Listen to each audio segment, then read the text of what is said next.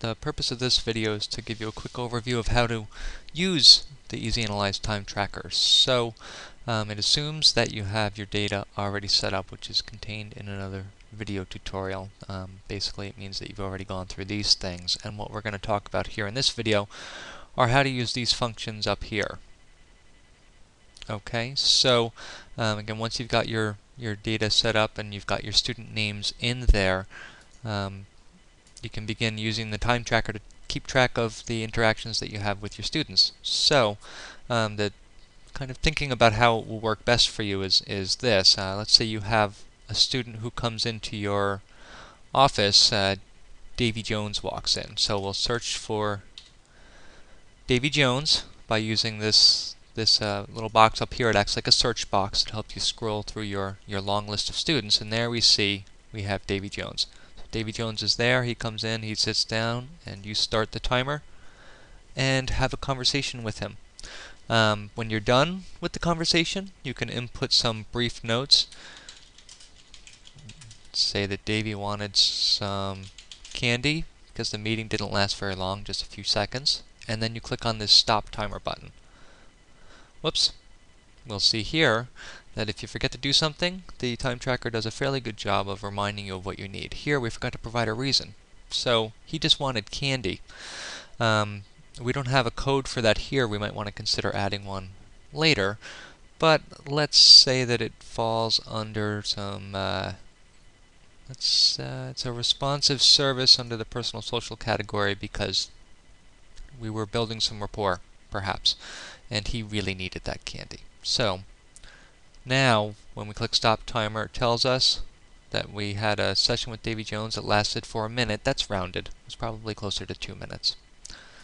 Click OK, and now everything is reset and we're ready to, to meet with our next student. Um, so while that does take a little bit of time to do, it doesn't take too terribly long.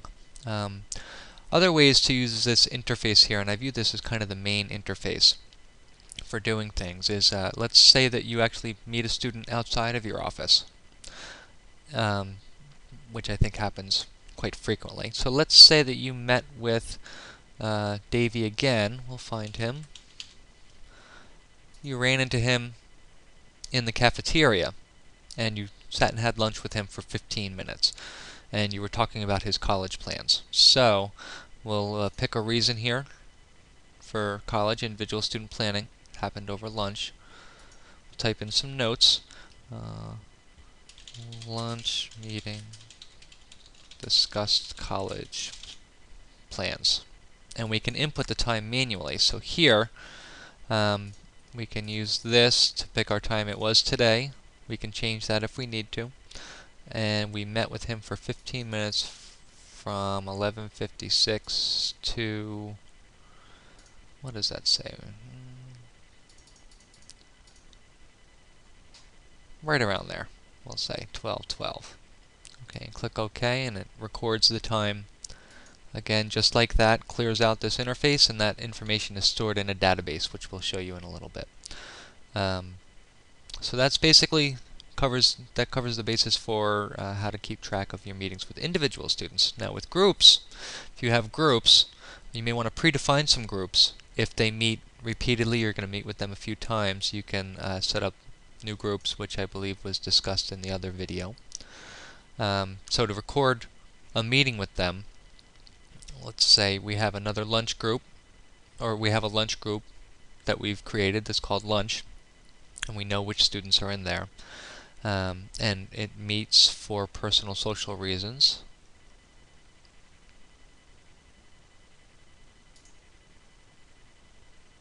And we can say we met today regarding social skills will be our notes and then we can just input the time for our lunch group. And it met from 12.15 to 12.45. Click OK. If any students were absent, you can deselect them now at this time. Um, so let's say Janet was not there, we just remove her and she will not be recorded as being a participant in today's group. Okay gives us a little message box that our group was recorded, and we're all set and ready to move on to our next task. So another thing that you might run into is when you meet with a group of students, but you only meet with them once. For example, if you do a, um, let's say you do a presentation to an English class, and you've got 15 students in there. Um, you can create kind of what I call an, an ad hoc group. It's a group that um, doesn't meet very often, or only meets once perhaps, and you can go through here and, and record it as a group time meeting with a bunch of individual students by selecting their names from this list. And I'm just selecting random names here, but you'll have real student names. Okay, so what happens is when you, even though this is set on individual, when you select more than one student from this list, the time tracker picks up that you're working with a group, and you can start the timer or input the time manually. Uh, we'll do it since we went to a classroom and we weren't in our office we will input the time. Whoops, I forgot the reason again. Um, we went and did a classroom presentation on career planning. So now we can input the time here. So when, when you create an ad hoc group, it gives you an opportunity to name that group so that later when you generate reports, it's going to be recorded as a group with this name. So um, we can call this a homeroom presentation. And as long as you give it the same name for each homeroom presentation that you do, or no, it was an English class, wasn't it? English class. So as long as you type in the same name, and it does need to be the same name verbatim, um, it will report all of those students that you met with later as participating in this English class presentation group. Um, you can also, if you don't want to bother, if you just want to record it as individual times, each student's time will be recorded if you just leave this blank. Okay, we'll put an English class presentation, we'll click OK. Our English class meets relatively early in the morning from 8 to 8.45.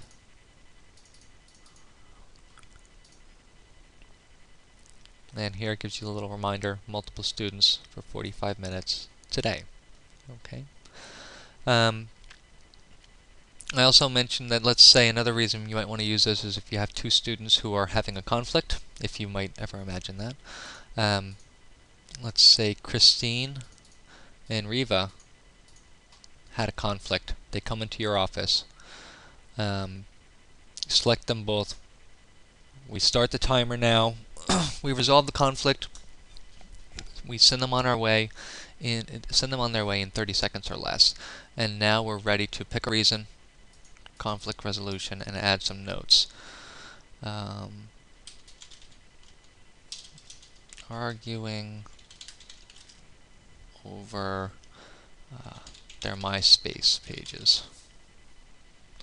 When we click Stop Timer, it gives us a chance to give this a name or not give it a name. Here, in this case, I would say it's appropriate to not give it a name, so we can just leave this blank and click OK, and both of those students' times will be recorded. Okay, so I think that that's about it with keeping track of student time here. Um, this gives you access over here on the right hand side to um, all the things that are available here on the main sheet as well. It's just another place to get to them. What I would recommend you do is after you've done some work with students that you click the Save and Close button. Just in case something funky happens with your computer, it makes sure that you don't lose any of your hard work that you've done to record that. Okay? Um,